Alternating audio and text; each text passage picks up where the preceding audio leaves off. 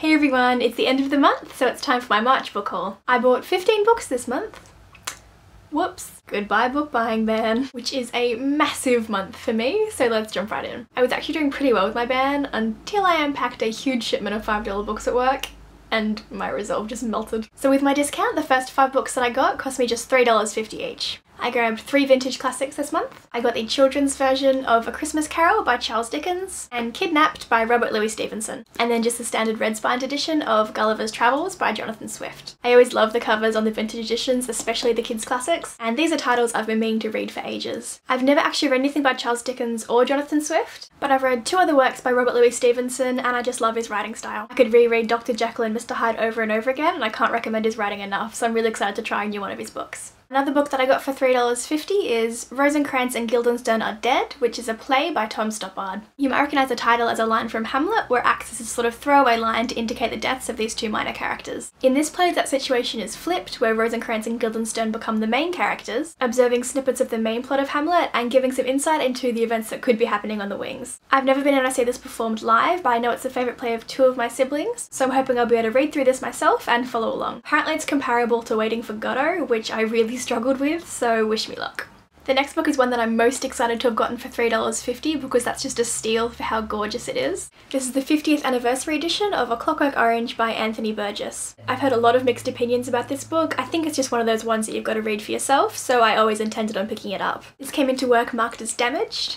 The spine is a little bit loose, and the last couple of pages are a little bit crinkled. But this retails for £20 and I bought it for $3.50. So to pick it up so cheap was such a steal I couldn't resist when I saw it. I'm not sure when I'll get round to picking this one up, but hopefully sometime later in the year. I bought three non-fiction books this month because I've been trying to vary what I'm reading a little bit and I feel that non-fiction is something I've been neglecting. The first one that I picked up is the one that's most interesting to me but probably the least interesting to most other people and that's Governesses, The Life and Times of the Real Jane Eyres by Ruth Brandon. This is essentially an examination of the job governess in the 19th century. We often hear in classics of kids having governesses, but because that job doesn't exist anymore, I really didn't know that much about it. The modern job title governess is actually given to a sort of tutor who lives on an Australian remote property and helps children who live too far away from a regular school to attend with their schoolwork. I'm actually really interested in trying my hand at governessing next year after I graduate, so I thought I should read a little bit about the history of the job and see what I'm getting myself into. Pretty decent length book, so I'm not sure if I read it front to back, but it should be interesting to have a look through anyway. The second non-fiction book that I picked up is also a pretty niche interest area, and that is A Brief History of Cults by Peter Haining. I'm actually really interested in cults and subcultures, but before now I've mostly gotten that information from documentaries like Louis Theroux. I have a few books on the subject, but most of them are pretty specific, so I thought it might be a good idea to start with one which is sort of a consolidation of a whole bunch of information. This includes case studies of 24 separate cults grouped together roughly by time period. Reading down the list of names, I only recognised maybe a third of the groups, so I'm really excited to refresh my knowledge of those ones and then learn about some brand new groups. Plus this cover is freaky as hell.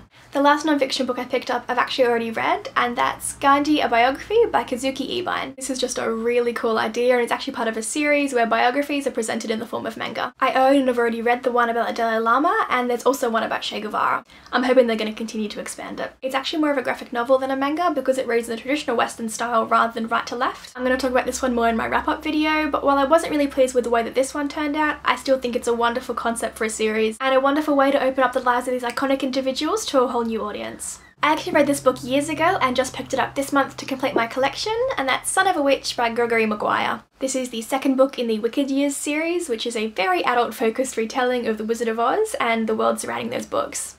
I already own the first and third books in this series, but if you've read any of Maguire's works, you know just how complex these fantasy works are. It's been years since I've read Son of a Witch, and I knew I'd have no hope of following along with The Lion Among Men until I refreshed my memory of this one. I've actually already read the rest of the books that I bought this month, so if you want to know what I thought about them, check out my March wrap-up when it goes up sometime this week.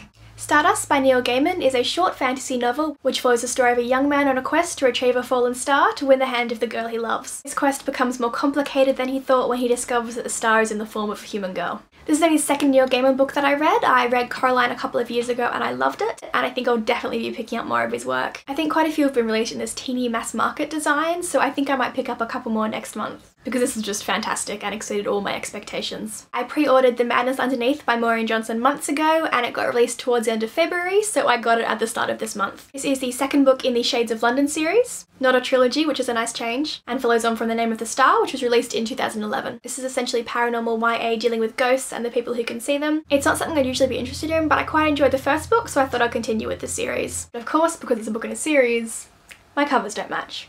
I never really liked this cover design anyway, so I'm hoping they re-release it in this format because this one I really love. This is the book that needs no introduction. Of course, it's Clockwork Princess by Cassandra Clare. I just read that it's on the top of a whole bunch of bestseller lists, which is really not surprising with the number of people I've seen reading and reviewing this one. I actually have a spoiler-free review of Clockwork Princess up, so if you want to know what I thought about it, I'll have a link in the description. Lucky Last, a book that I'm almost finished reading and just adoring, Eleanor and Park by Rainbow Rowell. I bought this one after reading John Green's rave review of it in the New York Times and I'm definitely not regretting that decision. It took me about 50 pages to get into the story, but I was late to Easter lunch at my grandparents because I could not put this down. This is a young adult romance set in the 1980s about two high school outcasts, Eleanor and Parker, and the story of their relationship. I think this is just going to spread like crazy through booktube. Rincey from Rincey Reads just did a perfect review of this one, so I'll link that down below. I don't think you're going to be able to escape this book in a couple of weeks, but looking at how cute this cover is, I don't think anyone's going to mind. So that is finally the end of all the books that I purchased this month. I'll put links to the Goodreads page for all the titles down below if you want to learn anything more about them. Let me know if you've read any of the books that I bought this month. I'm really excited to read most of them pretty soon, which of course I say about every book I purchase.